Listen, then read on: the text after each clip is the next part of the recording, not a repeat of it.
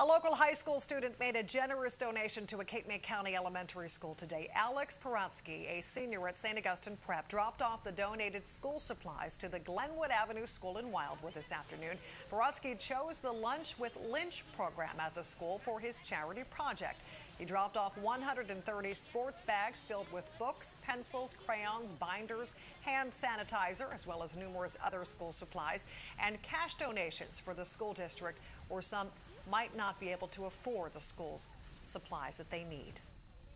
And I also think it helps their parents. It's one less expense they have to put out, and it's one. It's an, maybe it's another bill they can pay. Maybe it's another week of food they can buy.